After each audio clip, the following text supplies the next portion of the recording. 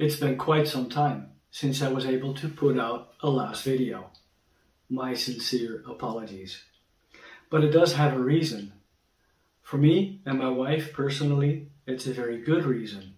Because after living in the western part of the Netherlands for more than 40 years, we recently decided to move house to another province, which is Overijssel.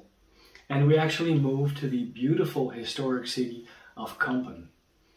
And there's so much to see here and so much to photograph. But I guess I might slightly have underestimated the amount of energy and time it costs to move house. There are so many things to do and so many things to think about. We bought this beautiful semi-detached house, which was built in 1935, and we're preserving all the old details and we still have some work to do. But I'll come back to where we're living and how we're living in a later video. And now's the time to get back on track and put out a new video. I do have a very high priority, and that is to bring out a video on this Kiev 60. And that has a reason also, because I borrowed this from Hans de Graaf at the Foto Vakhuis already a few months ago. And I know that he's very anxious in getting his Kiev 60 and his lenses back. Sorry Hans, I'm working on it. Thanks for your patience. So this has a top priority, to use the Kiev 60 with its standard lens, also a beautiful wide angle 30 millimeter lens, a wide angle 65 and a telephoto 250 millimeter. It has a roll of Kodak Gold 200 loaded in the camera, I have a second roll lying here and a roll of Fuji Acros.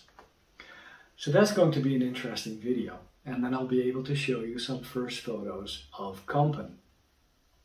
Besides that, not too long ago I picked up this Olympus 35 LC rangefinder camera, also loaded up with a roll of Kodak Gold 200, also a video on which I'm going to be working the coming weeks. And the third video that I'm planning is on the two Pentax cameras that I recently picked up. And it included a beautiful and actually quite rare 55mm 2.2 standard lens and also a 105mm 2.8 telelens. Both in working condition and for that set I paid 70 euros for this Olympus 35 LC, I paid 50 euros. But anyway, this is just a video meant to bring you up to speed. Again, I apologize for not bringing out a recent video. So it's now time to get back on track. I really appreciate your patience. I'm going to do my utmost to bring out a new video within now and two weeks on this Kiev 60. And I also have pressure from Hans, so I think that will work out just fine. And after that, we'll do the Olympus and the Pentax cameras. Thanks again. Really appreciate it. Take care, and I look forward to bringing out a new video very soon. Bye-bye.